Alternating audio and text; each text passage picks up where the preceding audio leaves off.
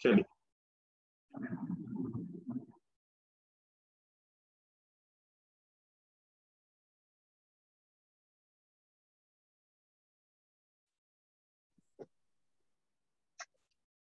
First year के बच्चे बताइए सेवनटीन क्वेश्चन कितने जने बोल सकते हैं answer The ratio of distance traveled by a freely falling body in the first second, second second, third second and fourth second. Distance traveled by a freely falling body यानी ये अपना ground है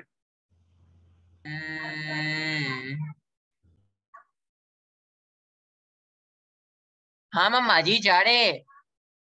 मम्मा जी जा रहे। प्लीज़ म्यूट योर सेल्फ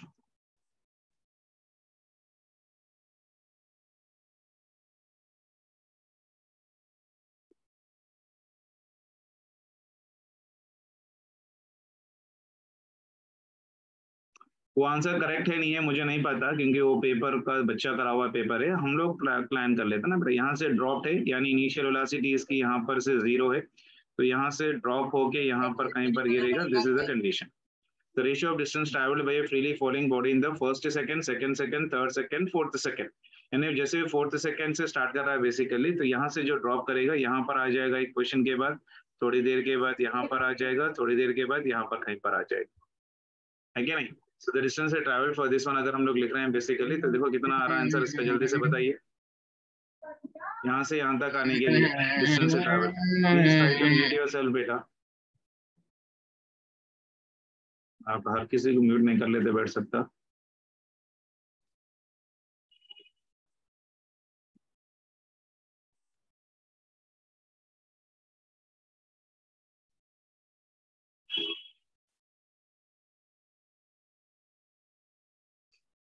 चलिए, बताइए।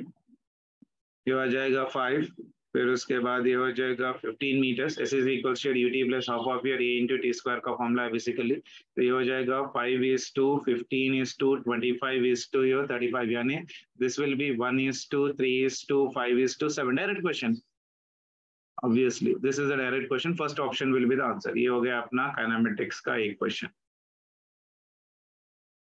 Clear है? आया सभी को आंसर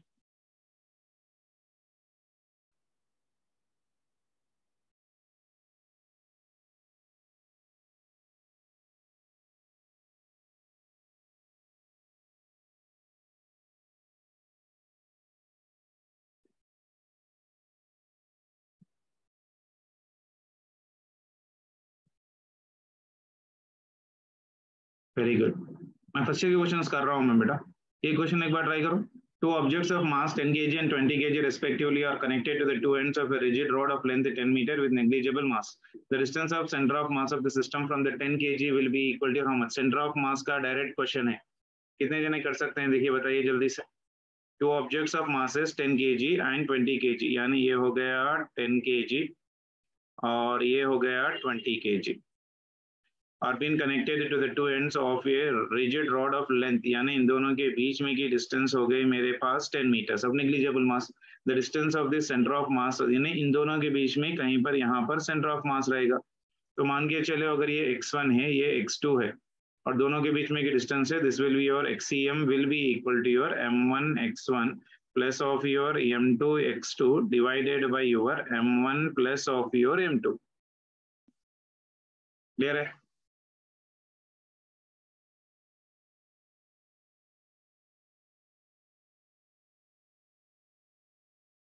चलिए M1 कितना बेटा? ज़ीरो है। So it is your M1 one into your zero plus M कितना है? ट्वेंटी और उन दोनों के बीच में की दूरी कितनी है? Ten divided by your this is ten plus twenty direct question so this will be equal to your this is your ten into twenty that is nothing but two hundred divided by your thirty ये वाला ये वाला चले गया that is twenty divided by three this will be the answer आया किसी को? Third option आ रहा है। टेन बाई थ्री आया। ट्वेंटी बाई थ्री आ रहा है ना? थ्री वन जो इसे twenty by three twenty by three twenty by three fourth option third option नहीं आएगा। फोर्थ ऑप्शन वेरी गुड कर रहे हैं आप लोग यार? Very good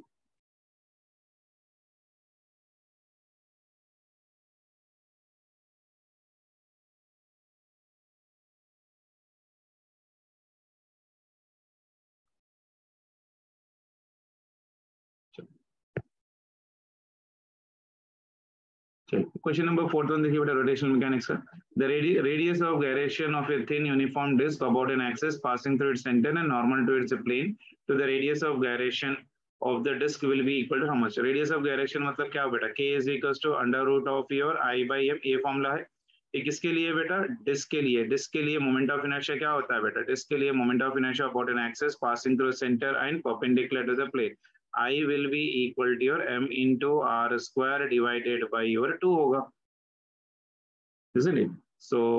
कितना दे रखा है? Normal passing through its centre and normal to its plane to the to plane to the radius of direction about its diameter about its diameter मतलब क्या हो जाएगा बट? अबाउट इट्स डायमीटर मतलब I Z divided by two यानी this will become for me M into R square divided by four तो ये हो जाएगा डायमीटर के लिए तो radius of direction will be equal to under root of your m into your r square divided by 4 into your m. m or m gets cancelled. So it is r divided by your root 2.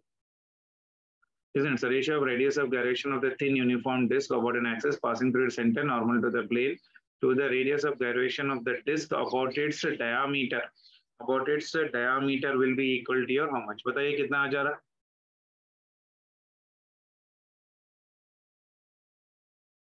आ गया। तो ये हो गया first one के one by your R two radius of direction उसी तरह से K to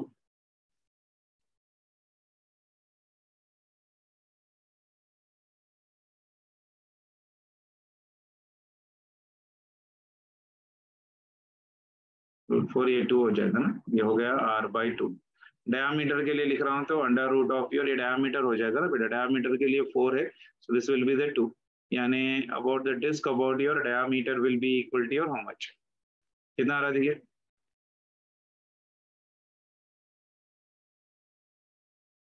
first one के लिए तो M R square by two है ना? तो ये हो जाएगा मैं के टू यानी ये हो जाएगा M into R square divided by two into your M M gets cancel यानी ये हो गया आर बाई रूट टू अगर मैं रेडियस ऑफ़ किसका पूछ रहा है? Radius of direction two about the diameter यानी K two divided by K one K two कितना है मेरे पास? R by your root two into K one कितना है? This one is right now two divided by your R by divided two यानी two by your root है ना ये K one है ना? ये के टू कितना है? आर बाई रूट टू आया।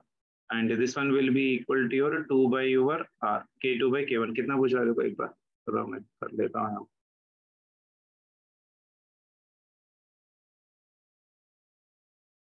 ओके ये हो गया डायमीटर के लिए। तो ये मैं ले रहा हूँ के रेडियस ऑफ़ गायरेशन क्या पूछ रहा है? Normal to its plane to the radius of gyration about its diameter यानी मैं के टू ले लेता हूँ ये। अंडर रूट ऑफ़ डायमीटर कितना आ गया मेरे पास? M R square divided by four into M M M gets cancel तो ये हो गया मेरे पास आर बाई टू और के वन आ जाएगा आर बाई रूट टू ठीक है ना? Because M M R square by two है ना बेटा?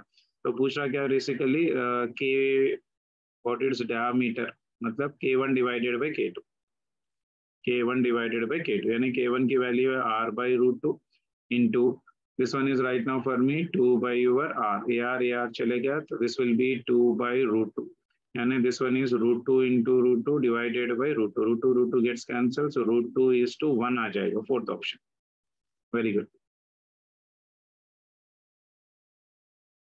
two is to one कैसा आएगा बेटा? गलत कर रहे हो सीनियर एम्स का कौन है? थर्ड ऑप्शन फोर्थ ऑप्शन आएगा बेटा। रेडियस ऑफ़ गायरेशन पूछ रहा है ना?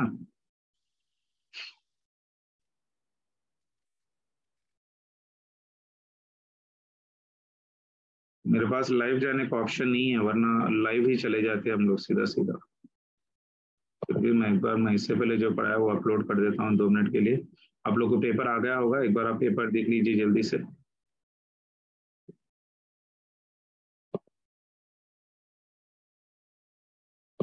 एक मिनट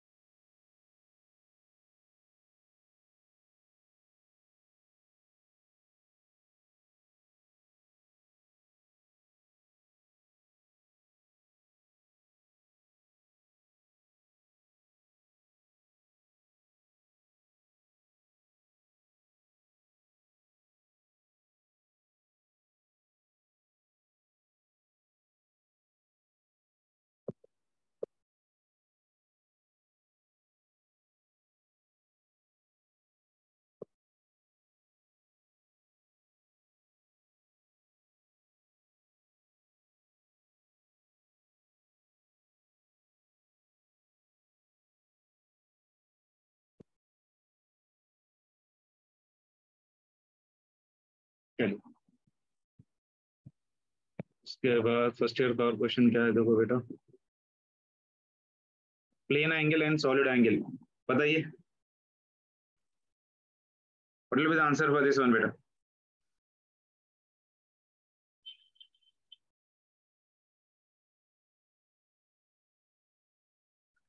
solid angle के लिए यूनिट क्या होता है? याद है ना आप लोग को? स्टेरिडियन isn't it? Plane angle मतलब some theta isn't it याद है so what will be the answer beta for this one third option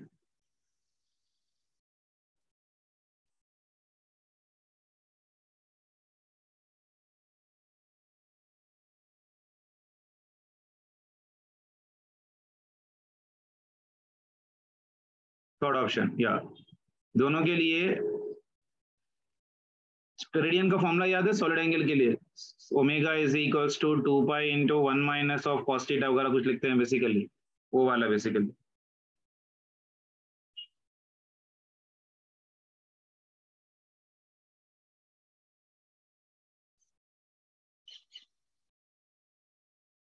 What will be the answer?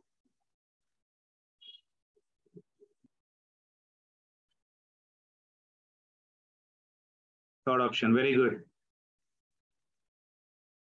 Sir, we didn't do this solid angle. Units and dimension में पढ़ाया होगा बेटा starting में आप भूल गए होंगे सॉलिड्स यूनिट्स एंड dimensions में करवाते हैं basically third option very good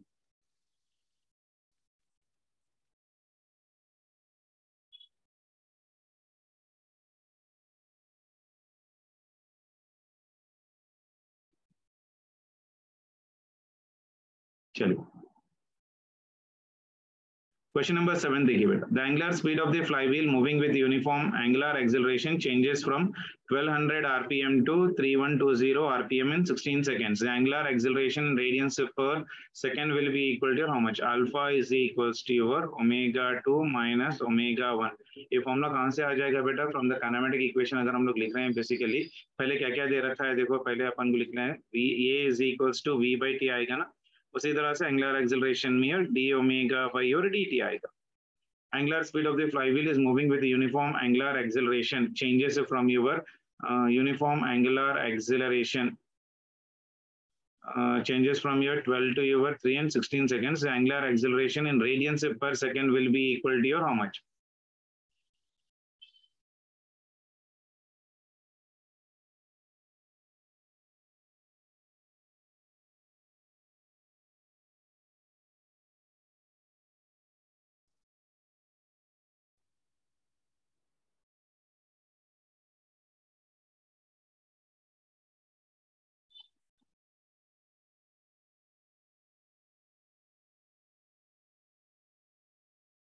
आया किसी को?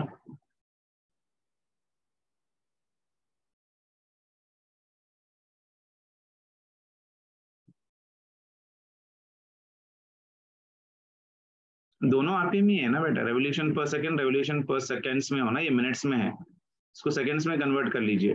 One two double zero divided by sixty will give me revolution per second क्योंकि टाइम अपने को सेकंड्स में है ना बेटा? तो ये वाला और ये वाला चले जाएगा। सिक्स वन जा सिक्स टू जा ट्वेल्व यानी ये हो गया ट्वेंटी और नेक्स्ट वाला कितना है? Three one two zero divided by ये भी हो जाएगा sixty so that will be also give me the answer for this given condition बताइए कितना आ रहा है बेसिकली ये कितना है? थ्री वन टू ज़ीरो ही है ना? हाँ.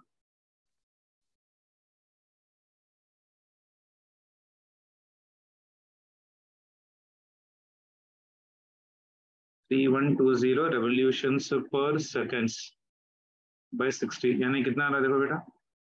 Three twelve divided by six two by आ रहा आंसर अच्छा ये फिफ्टी टू आ रहा बता दो। चलो फिफ्टी टू देख लेते हैं। ओके तो ये हो जाएगा 52 minus of your 20 divided by time is right now 16 seconds 52 minus of your 20 ये कितना आ जाएगा बेटा? 32 32 डिवाइडेड बाय 16 32 डिवाइडेड बाय 16 ये कितना आ रहा है? 2 तो मुझे आना चाहिए टू बेटा, टू पाई में आना चाहिए, क्योंकि ओमेगा की वैल्यू कितनी होती है? Omega is equal to two pi into N ना बेटा? तो यहाँ पर two pi two pi will be और कॉमन राइट ना फॉर मी इजेंट इट यानी number of revolution per second omega की वैल्यू दे रखा है omega is equal to your first one is one two double zero तो ये हो जाएगा two pi into your N one that is equal to one two double zero यानी N one will become for me one two double zero divided by your two pi नहीं calculation मुझे करना पड़ेगा। Just to the calculation here once फिर एक बार देख लेता हूँ। ये तो ही फॉर्मूला है बेसिकली बट कैलकुलेशन एक बार देख लो बस। नंबर ऑफ़ रेवोल्यूशंस देख लेते हैं पहले देखो। ओमेगा uh, वन दे रखा है मेरे को वन टू डबल ज़ीरो यानी ये हो जाएगा two pi into your actually omega one ही है ना बेटा अपने फॉर्मूले में तो alpha will be equal to your omega two minus of omega one divided by your T angular speed of the flywheel is been moving with uniform angular acceleration changes from your 1200 revolutions per minute to your 1 2 revolutions per minute. Yani omega value will be equal to your 2 pi into your n2 minus 2 pi into your n1 divided by your t. And that will be equal to your 2 pi into your n2 minus of n1 divided by t. ऐसा भी कर लीजिए।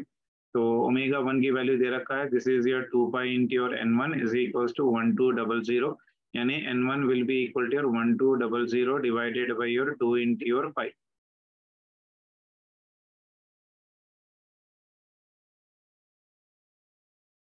ठीक है ना? चलिए।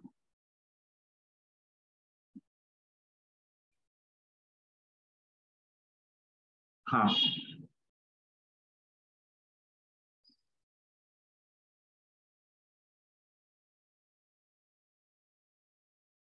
Four five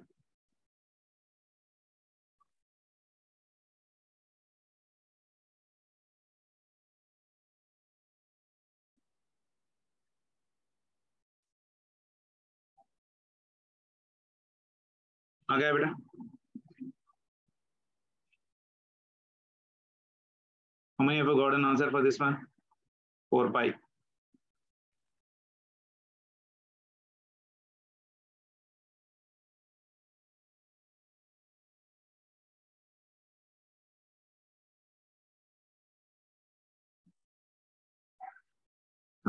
मैं कर देता हूँ मैं यहाँ पर ये हो जाएगा कितना three one two zero minus ये हो जाएगा ट्वेल्व हंड्रेड इंटू ये हो जाएगा मेरे पास टू फाइव इसको डिवाइडेड बाई सिक्सटी कर लो टाइम इज़ नथिंग बट पर में सिक्सटीन तो अब ये ज़ीरो ये ज़ीरो ये ज़ीरो यहाँ पर चले गया। तो अल्फ़ा की वैल्यू आ जाएगी मेरे पास three twelve minus of your twelve hundred into two five and that will be equal to 6 में जाएगा। This is 192 into your pi divided by 6 into 8 okay, that will be equal to 4 pi fourth option will be the answer uh, one one from from your वो बाद में कर लेते हैं second year का है।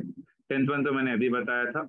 तो प्रेशर कांस्टेंट है तो ये हो जाएगा आइसोबारिक प्रोसेस और ये वाला हो जाएगा आइसोकोरिक प्रोसेस ये हो जाएगा आइसोथर्मल और ये हो जाएगा एडियाबैटिक इसका मैंने एक शॉर्टकट भी बताया था जब भी ऐसे वाले ग्राफ आ रहे हैं आप आप यहाँ पर एक क्रॉस मारो and move in the anti clock in the clockwise direction जो पहला टच करेगा that will be your isothermal and another will represents for me your adiabatic तो सेकंड ऑप्शन होना चाहिए ये बच्चा ने करेक्ट किया हुआ है तो सेकंड ऑप्शन ही इसका आंसर आ रहा है। पेपर बहुत आसान था।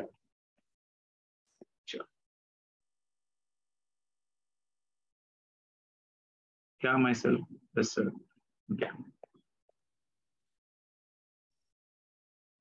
ये सेकेंड ईयर का है ये भी सेकेंड ईयर का फिफ्टीन भी सेकेंड ईयर का है फाइनल स्पीड सिक्सटीन भी सेकेंड ईयर का ही है सेवनटीन फ़र्स्ट ईयर का है एटीन भी सेकेंड ईयर का है nineteen is also from the second year twenty is also from second year India twenty one आप कर सकते हैं shell of mass M is at rest ये है अपने पास एक shell which is at rest and initial velocity is zero. It explodes into three fragments, having the mass in the ratio 2 is to 2 is to 1. यानी पूरा mass कितना हो गया? फाइव तो इसमें से ये एक्सप्लोड हुआ थ्री पार्ट्स में। तो एक का मास था टू एम और एक का मास है टू एम और और एक का मास है M if the the having the equal equal fly of off mutually यानी एक वाला जो टू एम है, ये इस तरह से जा रहा है, और और एक वाला टू एम जो है ना, ये भी इस तरह से जा रहा है। ठीक है ना?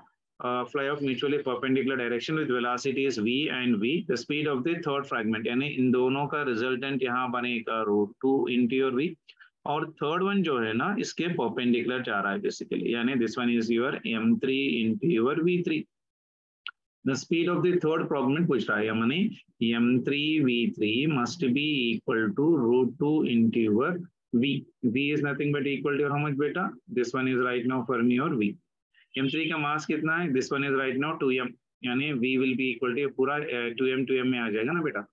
2m इंटू यानी सॉरी मैं इसको लेता हूँ मोमेंटम p1 और इसको लेता हूँ मोमेंटम p2 तो यहाँ पर p बनेगा root of your p1 plus of your p2 यानी this will be root two times of your P यानी root two P is equal to your m into your V M कितना है यहाँ पर? 2 यानी 2 root two into your v होगा तो ये हो जाएगा टू रूट टू तो यहाँ पर मुझे इसको टू रूट टू लिखना पड़ेगा तो यहाँ पर इसको मैं लिख रहा हूँ, two root two into M ठीक है एम थ्री का मास कितना है? यम है। तो एम थ्री का भी मास देखो, यहाँ पर ये हो गया मेरे पास यम थ्री ये हो गया मेरे पास एम टू और ये हो गया मेरे पास एम वन एम टू का मास एम है, ये एम और ये एम चलेगा तो V three will be equal to ये हो गया V V three will be equal to two root two times of your V direct ये लड़के ने भी ये क्वेश्चन एग्जैक्टली करेक्ट किया हुआ है, पता नहीं, कोई नॉर्थ इंडियन का पेपर है।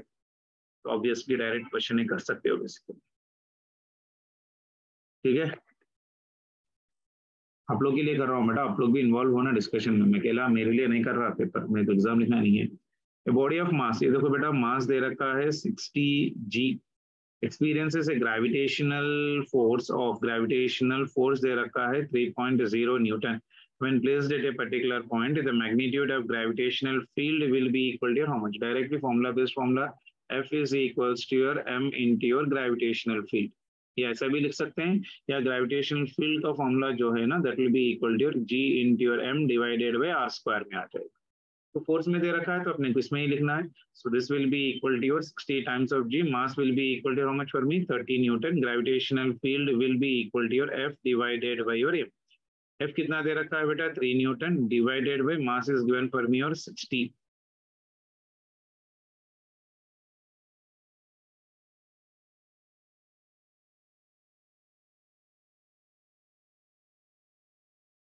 सिक्सटी ग्राम है क्या? सिक्सटी ग्राम हो ही होगा। यानी into ten power of your minus three यानी this will become for me your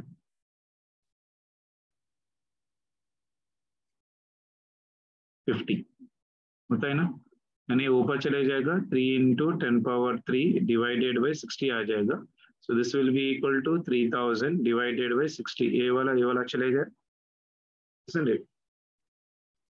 fifty 50 newton per kg इतना आसान क्वेश्चन है don't know why so much easy question very good 23 पे सेकेंड ईयर का ही क्वेश्चन है देन 24 भी second year का question है. 25 एज ए टेम्परेचर इंक्रीज ये भी सेकेंड ईयर का है. 26 भी ट्वेंटी सेकेंड ईयर का है. 27 भी सेकेंड ईयर का है. 28 जो क्या होगा, बताइए आपसे बेटा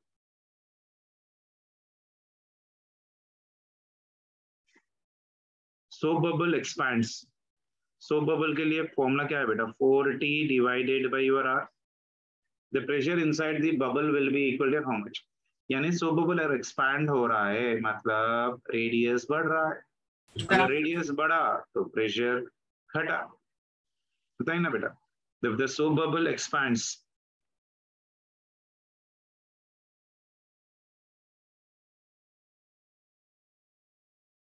बताइए आंसर कितने जने ओके बोल रहे हैं?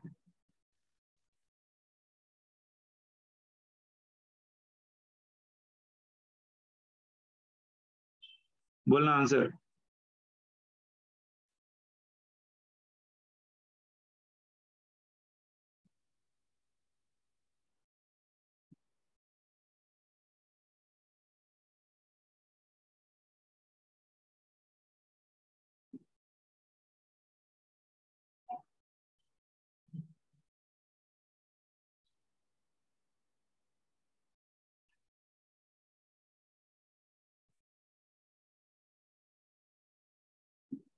Option decreases the soap bubble expands the pressure inside the soap bubble यानी ये delta p होगा ना बेटा delta p मतलब p inside minus of your p outside will be equal to 4t divided by r so p inside will be equal to your atmospheric pressure plus of your 4t divided by your r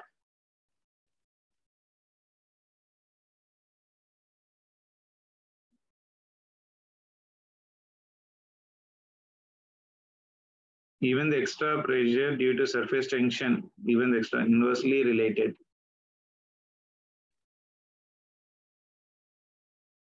Uh, inversely related.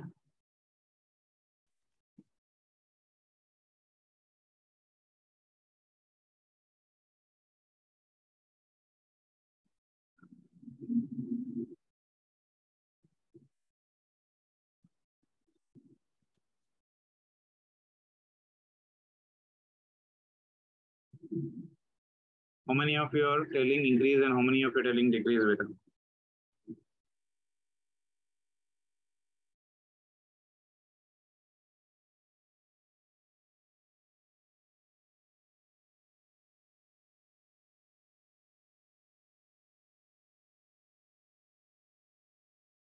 बेटा मैंने फॉर्मूले भी बहुत clearly लिखा हुआ है यहाँ very good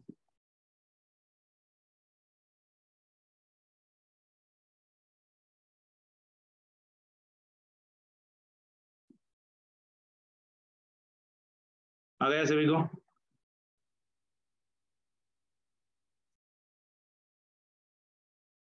चलिए। Twenty nine is your solenoid second year का है। हाँ क्वेश्चन नंबर थर्टी देख लीजिए बेटा। Displacement time graph of the two moving particles makes an angle of thirty degrees forty five degrees with X axis as shown in figure the ratio of the respective velocities मैंने अभी बताया आपको। Dx by dt क्या देगा velocity v equals to dx divided by dt मतलब that will be equal to your tan theta यानी v1 by v2 v1 by v2 will be equal to your tan theta 1 divided by tan theta 2 तो ratio of the respective अगर मैं मान के चल रहा हूँ इसके लिए v1 और इसके लिए v2 v1 के लिए एंगल हो जाएगी ये वाली 30 डिग्रीज और v2 के लिए एंगल हो जाएगी 45 डिग्रीज यानी मैं अगर इसको लिख रहा हूँ तो this will be equal to your v1 divided by your v2 is equals to your tan. ये ले रहा हूँ मैं टीटा वन और ये ले रहा हूँ मैं theta two theta two is your 45 degrees मेरी मीटिंग एंड हो रही है बेटा. तो it is your tan of your 30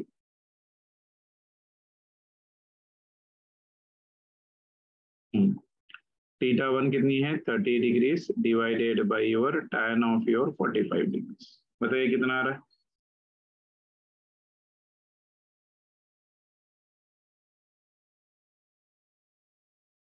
Anyone? V1 divided by v2 will be equal to your tan 30 कितना बेटा? 1 by root 3 divided by tan 45 कितना होता है? 1 यानी this will be 1 by root 3 इसने 1 is to 2 लिखा हुआ बेटा। ट्रिग्नोमेट्री गलत कर दिया होगा ना बच्चे। ने second option one by root three one is two root ठीक है, चलो। अभी मेरे पास देखिए, दस मिनट बाकी है। उसके बाद मीटिंग एंड हो जाएगी काफ़ी है फ़र्स्ट ईयर क्वेश्चंस कर सक रहे हैं सिर्फ़ एनालिसिस के लिए मैंने लिया हुआ था ये वरना otherwise everything was very easy for this one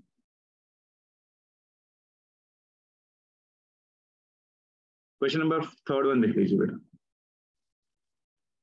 spherical ball is dropped in a long column of your high viscous liquid. The curve in the graph shows the speed of the body as a function of your time will be equal to your how much? बताइए कोई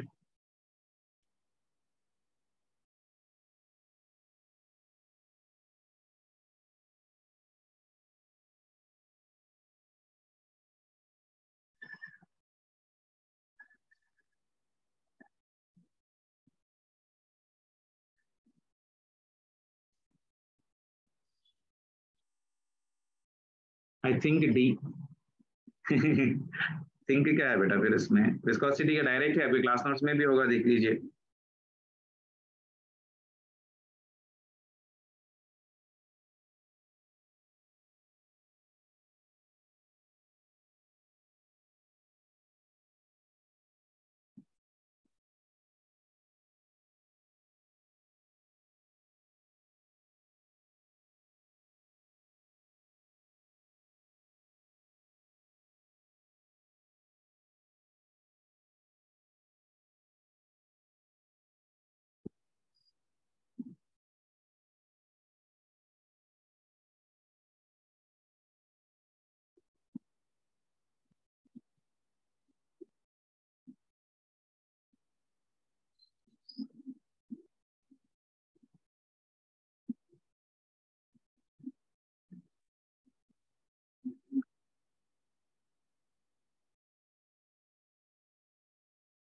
कोई बताएगा like an upside down नहीं बेटा ये देखो terminal speed का देखो बेटा आप लोग को मालूम होगा when a spherical ball is dropped into a long column of an high viscous liquid the curve in the graph shown which represents the speed of the ball as a function of your time देखो जैसे जो column में डालोगे ना initially it will try to increase speed क्या हो जाएगी इसकी इंक्रीज हो जाएगी उसके बाद थोड़ी देर के बाद कांस्टेंट हो जाएगी then it will be moving with constant acceleration so first the speed will be increasing with respect to the time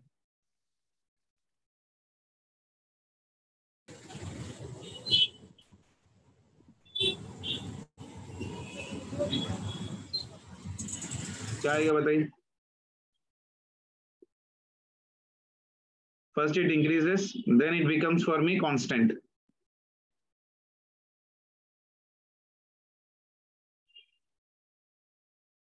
hint भी दे रहा हूँ मैं डिटेली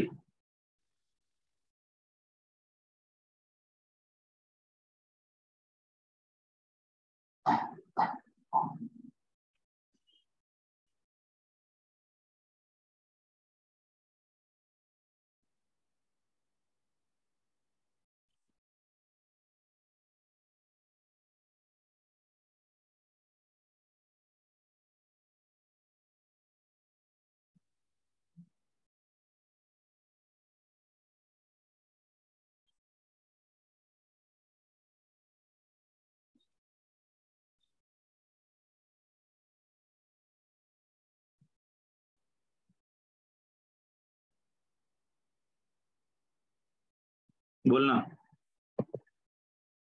B someone is giving answer still हाँ। लिक्विड कॉलम में जब हम लोग हैं जैसे हनी वगैरह होता है बेसिकली जैसे हमने ने बॉल ड्रॉप किया इसके अंदर तो इसकी स्पीड इनिशियली इंक्रीज होगी। यानी जैसे जैसे टाइम बढ़ेगा, वैसे वैसे स्पीड इंक्रीज होगी इंक्रीज इंक्रीज होगी। एक टाइम आएगा जहाँ पर वो फिर कांस्टेंट बन जाएगा। ध्यान देखो स्पीड क्या हो रही है? बढ़ रही है, बढ़ रही है, बढ़ रही है, बढ़ रही है टाइम के साथ देन उसके बाद it is becoming constant for so B will be the best representation fourth option must be the answer B बोल रहा है बी क्यों होगा यार? नहीं हाँ ये बी होगा. This graph will be the answer यानी ऑप्शन में फोर्थ वन टिक करना है आपने.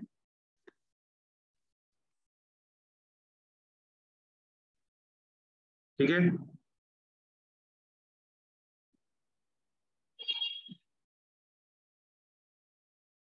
ठीक है, चलो, वैसे तो मैंने पेपर का एनालिसिस ऑलमोस्ट ऑल कर चुका हूँ तो बहुत आसान पेपर है डायरेक्ट क्वेश्चन है।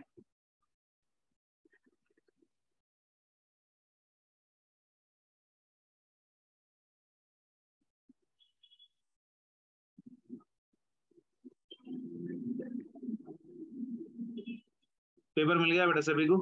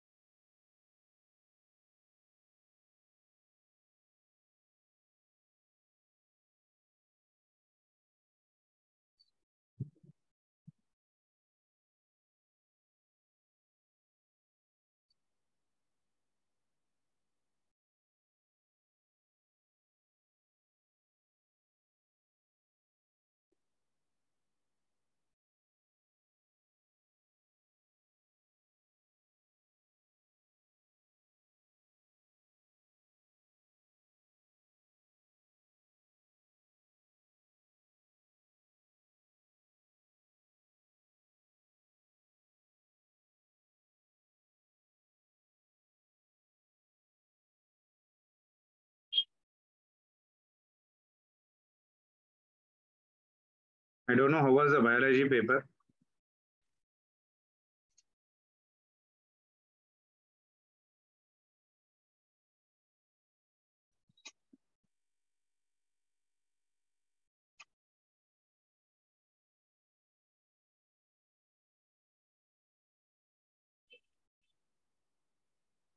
किसी ने बायोलॉजी पेपर देखा है बेटा चलो क्वेश्चन नंबर थर्टी नाइन बताइए the volume occupied by the molecules contained in 4.5 kg water at STP if intermolecular forces vanishes will be equal to how much the given में क्या है मेरे पास mass is given as 4.5 kg और कौन सा STP के पास दे रखा है STP मतलब क्या बेटा temperature will be equal to 273.15 Kelvin and pressure will be equal to 1 atmosphere यही तो ना यानी नंबर ऑफ़ मोल्स कितने बन जाएँगे बेटा number of moles is equals to mass by molecular weight mass एक केजीस में ही ये अपने को ग्राम्स में लिखना होगा। तो this will be your four five double zero divided by molecular weight of water is 18 यानी ये बन जाएगा 250 then use relation PV is equals to N into R into T तो प्रेशर कितना है बेटा? वन वॉल्यूम अपने को निकालना है। N value is right now for me 250 into R की value 0.0821 into 273.15. I think in the complete country, I might be the first person to give the solution for this 39th question, which is थोड़ा calculative based. है फिर 90% भी आप कर सकते हैं basically.